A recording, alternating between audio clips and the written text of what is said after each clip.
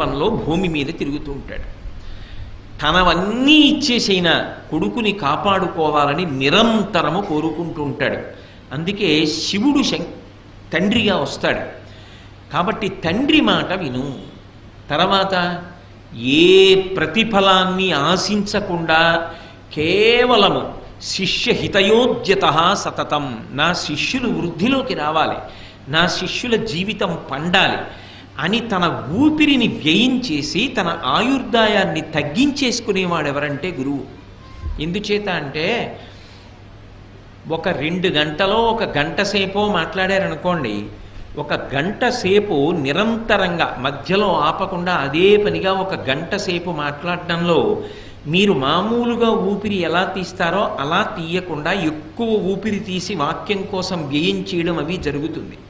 దాని వలన ఏమవుతుందంటే ఊపిరిల వ్యయం అయిపోయి ఎంతకాలము దాను బ్రతకాలో అంతకాలము బ్రతకకుండా ఇంకా తొందరగానే శరీరాన్ని వదిలిపెడతాడు.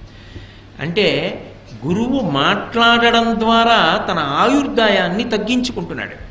మరి మాట్లాడకపోతే శిష్యులకి హితం ఎలా జరుగుతుంది? శిష్యుల హితము కొరకు తన ఆయుర్దాయాన్ని పణంగా పెడుతున్నాడు గురువు. అది అంత తేలిక విషయం ఏం కాదు. కాబట్టి ఆయన ఏం కోరి పెడుతున్నాడు? అంటే నేను మాట్లాడుతున్న గురువు ఎవరు అంటే ఏ విధమైన ప్రతిఫలాపేక్ష లేకుండా శిష్య హితము కొరకు ప్రవర్తించేవాడు. శిష్యులు తనని గురువుగా అంగీకరించాలి. తాను నేను గురువునని చెప్పుకోకూడదు. నేను గురువునండి. అనకూడదు. ఆయన మా గురువు గారండి అనాలి. ఆయన మా గురువు గారండి అని ఎవరంటారో వాళ్ళకి ఆయన ఎందు గురి ఉన్నది. గురి ఉన్నది కాబట్టి గురై గురువయ్యాడు.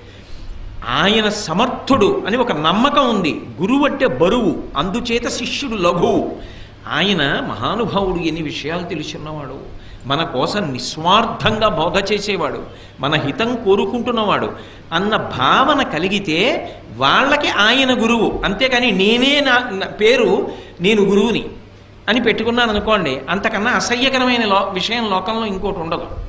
పైగా దానికి ఎడాపెడా అటు ఇటు ఏవో నాలుగు ముక్కలు కూడా చేర్చేసుకున్నాను అనుకోండి ఇంకా అంతకన్నా దరిద్రం ఇంకోటి ఉండదు. కాబట్టి గురువు అంటే నేను పెట్టేసుకోకూడదు. గురువు అని అవతలవాడు అనాలి.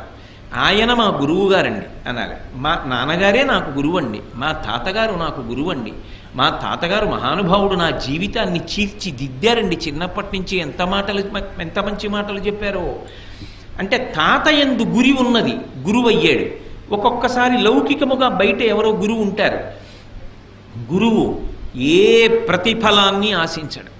ఏ ప్రతిఫలాన్ని ఆశించకుండా గురువు ప్రవర్తిస్తాడు కనుక గురువు ప్రేమైకమూర్తి ఇక్కడ వరకు మీకు అర్థమైంది అనుకోండి అది మీకు పరిణితి లేని వయస్సు.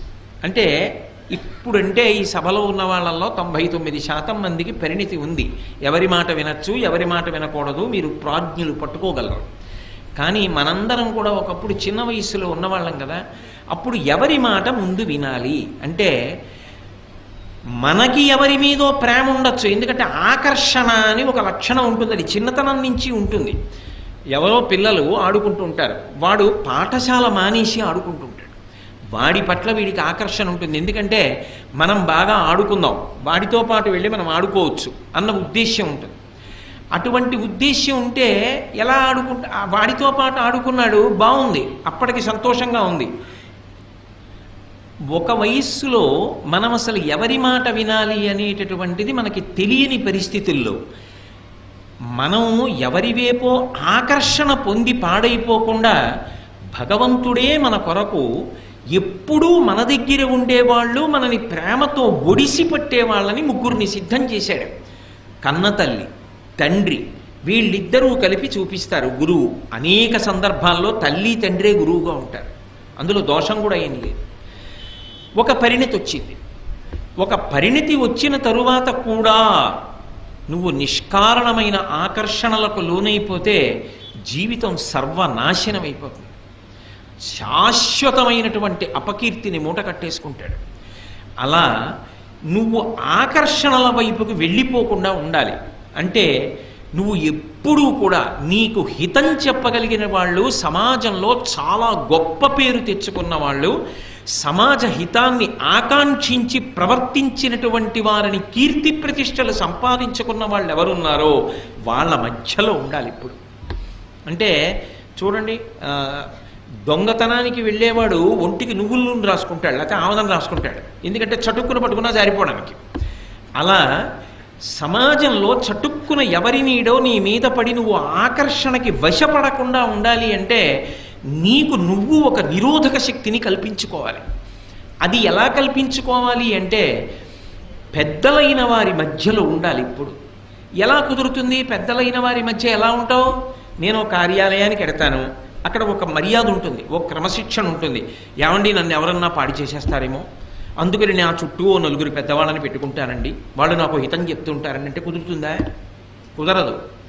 అప్పుడు స్వామి వివేకానంద నీతో పుస్తకం ఒకటి పట్టుకెళ్ళు. ఏమవదు ప్రమాదం ఏం సంభవించదు. నీ సొరుగులో వివేకానందుడి పుస్తకం ఒకటి పెట్టుకో.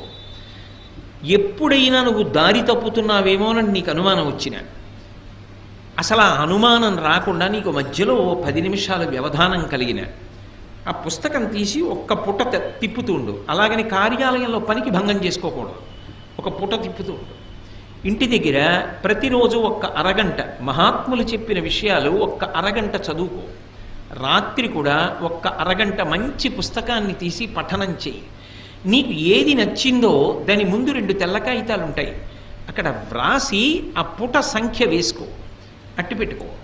ఇప్పుడు నువ్వు ప్రభావితుడు అవుతుంటావు